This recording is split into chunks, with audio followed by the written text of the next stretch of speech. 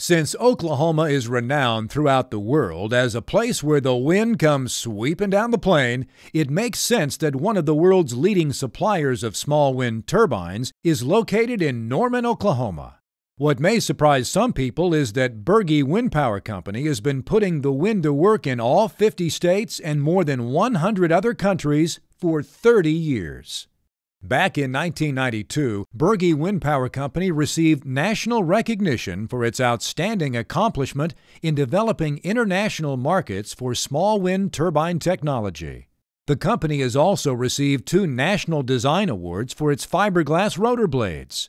As co founder of Bergey Wind Power and its president for the past 21 years, Mike Bergey has served the American Wind Energy Association in various capacities, including serving twice as its president. As the world increasingly turns to wind power solutions, Bergey Wind Power, under the leadership of Mike Bergey, is at the forefront of his industry and more than deserving of Keep Oklahoma Beautiful's 2008 Vanguard Award.